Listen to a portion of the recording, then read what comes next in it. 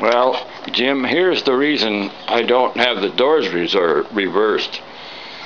It clearly says in the uh, instructions that the door with the three, the one big hole and the two little holes is the, uh, let's see, the right-hand door. Okay, so I'm surprised at how little faith you have in me.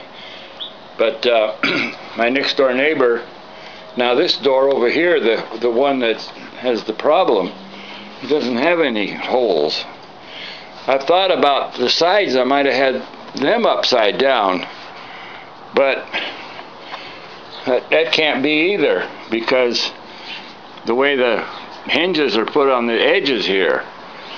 I had uh, my neighbor who's got he makes things that are up on the moon and are going around in space. He he inspected this and he he gave me a clean bill of health. He said I did an excellent job. So I think it's a manufacturing error. I think.